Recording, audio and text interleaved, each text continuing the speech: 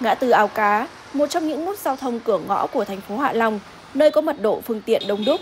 Tiếng còi xe inh ỏi, các phương tiện mạnh ai nấy đi. Hệ thống đèn tín hiệu giao thông tại đây đã ngừng hoạt động từ hơn nửa năm nay, khiến giao thông ở khu vực này trở nên lộn xộn. Khi có đèn tín hiệu thì em khi em sang đường thì là sẽ có những cái xe đã dừng lại để nhường đường cho mình đi. Tuy nhiên là khi không có những cái đèn tín hiệu này thì à, sẽ không biết là lên rừng hay là lên à, đi gây nguy hiểm cho người tham gia giao thông. Đèn à, tín hiệu ngã tư Âu Cá trồng vào nhau là hai cái dự án của thành phố Hạ Long rồi là của ban quản lý dự án công trình dân dụng tỉnh. Dự án này thì đang tạm dừng để phục vụ cái công tác kiểm tra. Chúng tôi cũng đang chỉ đạo các lực lượng là giả soát lại trong khi chưa sửa được thì mình phải có cái biện pháp tổ chức giao thông khác. Tình trạng đèn tín hiệu không hoạt động cũng xuất hiện tại nhiều khu vực khác. Người dân địa phương đang mong chờ cơ quan chức năng sớm có biện pháp giải quyết tình trạng này.